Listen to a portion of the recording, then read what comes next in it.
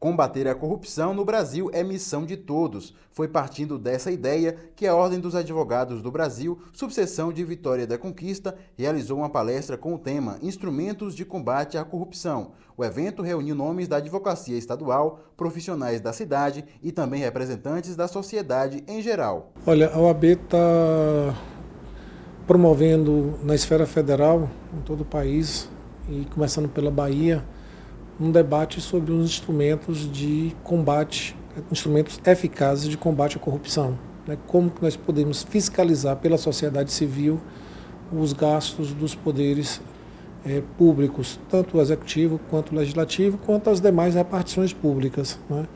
Essa é uma preocupação que tem aumentado bastante e agora é, nós vamos fazer um evento, a começar, a começando, começando por conquista, vai ser a primeira subseção a formar uma subcomissão também com essa finalidade para que juntos nós podemos conseguir um enfrentamento mais efetivo contra o problema.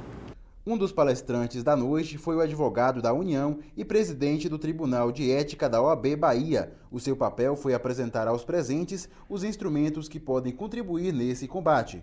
Na verdade, funciona através da mobilização da população para que ela seja esclarecida a respeito de mecanismos que já existem hoje previstos na legislação brasileira, que são medidas muito simples que podem ser colocadas em prática para impedir a continuidade é, da prática da corrupção na intensidade com que ela ocorre hoje.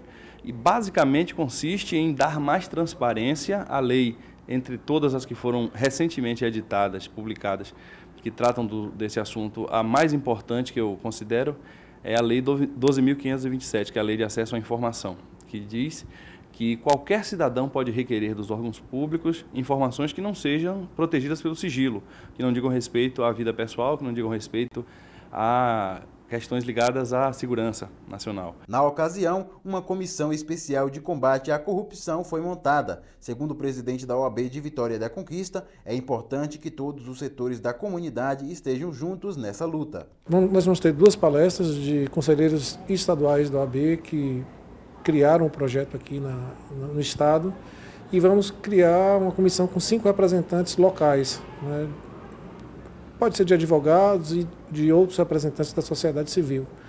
O importante é a gente conseguir implementar ações efetivas de combate à corrupção em todos os seus níveis. O plano de combate à corrupção elaborado pela OAB no final do ano passado também foi debatido no encontro. É ele quem vai nortear as ações da comissão. Para o presidente, a participação de representantes de vários setores e principalmente da população é fundamental para dar sentido às futuras ações. A importância é combater justamente esse grande mal que assola o nosso país, que é a corrupção. É um compromisso de toda a sociedade, independentemente de sigla de partido ou de posição partidária ideológica. A corrupção é um mal que precisa ser caçado da história da cidadania brasileira. E é uma responsabilidade de toda a sociedade. E não podia fugir da Ordem dos Advogados essa responsabilidade, uma vez que a Ordem dos Advogados do Brasil é guardiã da Constituição, do Estado Democrático de Direito e, sobretudo, da cidadania.